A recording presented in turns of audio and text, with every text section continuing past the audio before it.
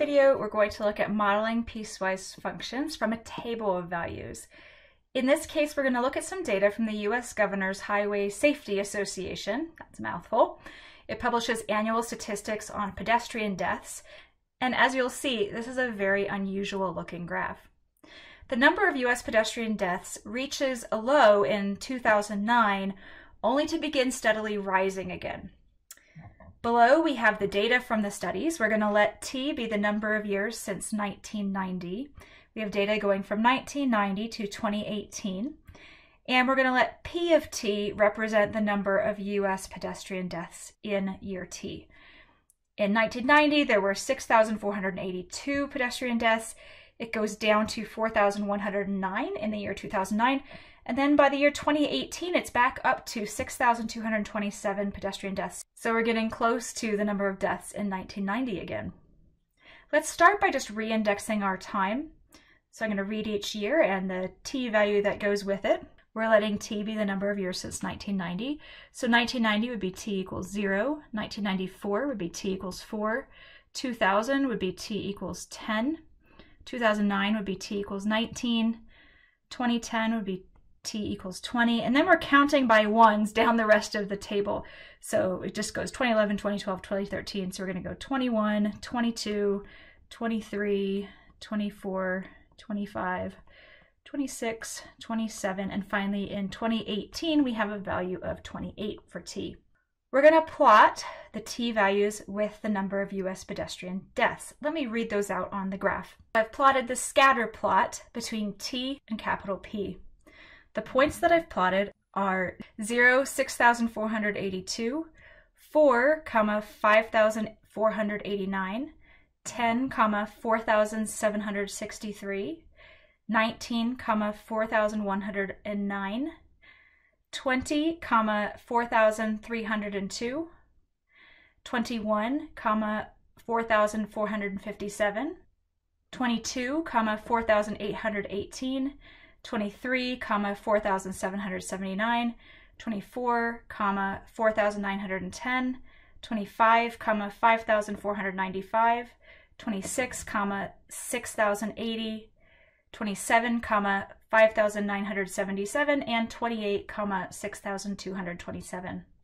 Now looking at this data, you can see that the graph decreases in a fairly linear manner to what happens in 2009, that value of 4,109, and then it increases in a fairly linear manner after that.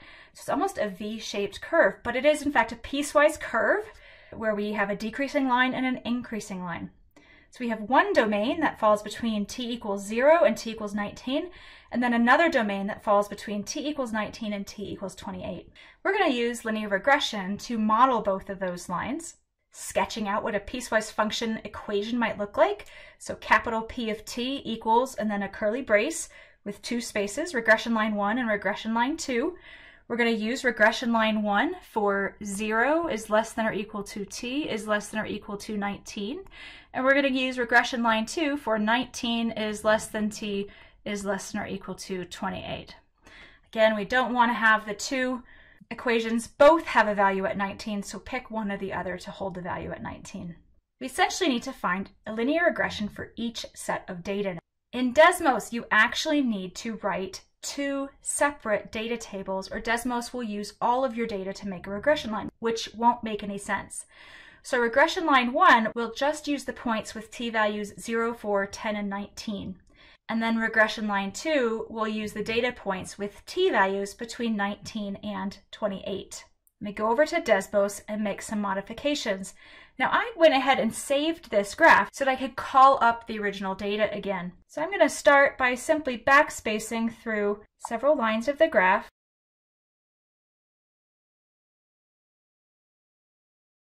until I only have the data for t-values 0, 4, 10, and 19. Now I'm going to make a regression equation for this.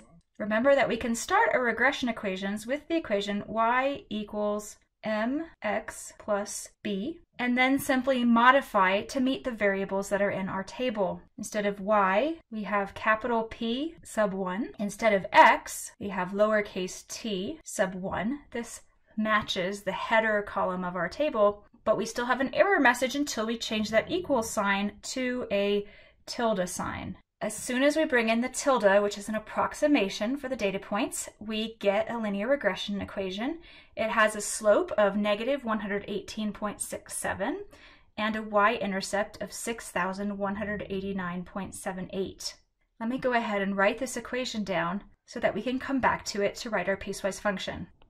y equals negative 118.67t plus 6189.78.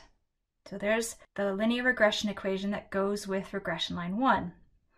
Now we do the same thing with regression line 2. I'm actually just going to reopen US pedestrian deaths.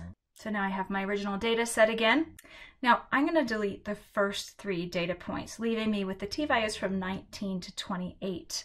Now I've changed the header row so that it reads T2, P2, just to remind myself that this is the second linear regression I'm doing.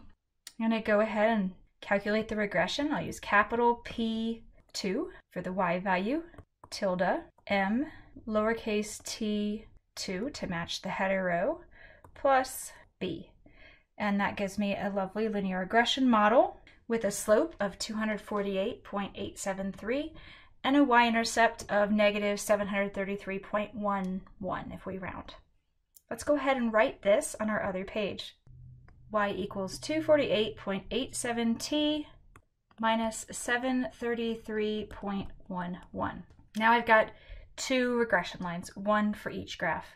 And from this, we can write the piecewise function for p of t.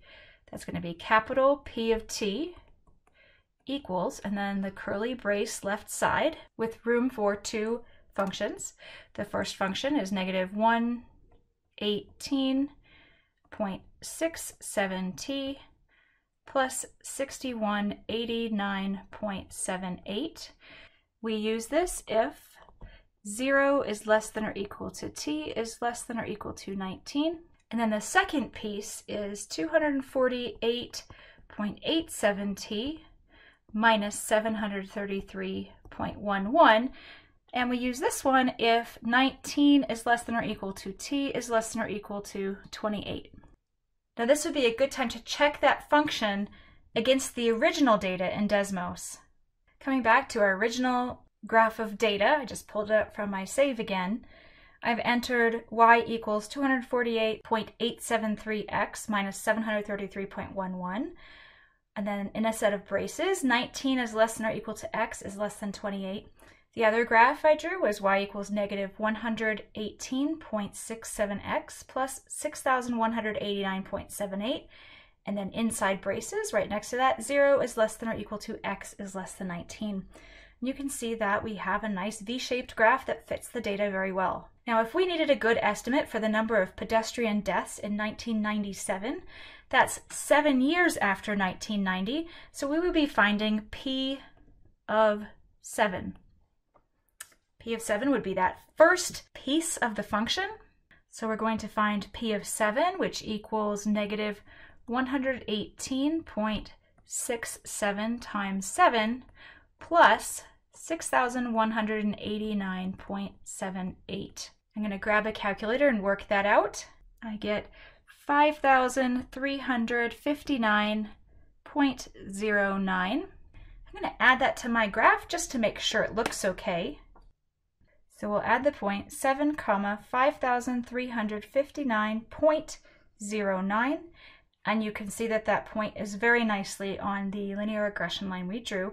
That's an interpolation, by the way. We're finding an estimated data point within the set of data that we had. So that checks out nicely.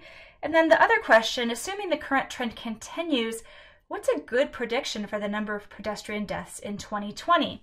So in this case, we're finding P of 30, that's 30 years after 1990, in which case we want to use the second piece of our piecewise function.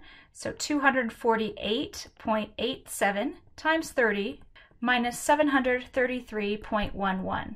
Again, I'll work this out with a calculator, and I get 6,732.99. Now you could basically round that to 6,733. So close. Let's go ahead and plot that point and make sure it looks okay. We'll use a parentheses and plot the point 30, comma, 67, 33. And you can see that that point, while it falls outside the range that we plotted on our graph, it is in a direct line with the linear regression that we had. Let's just recap.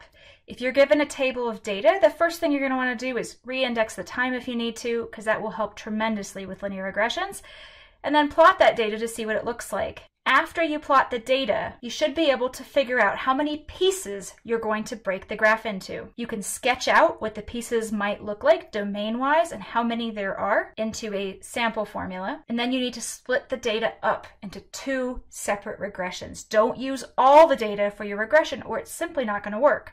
Finally, write your piecewise function. Make sure to use the notation that you've got your variables written in and write the domains over which each piece is valid.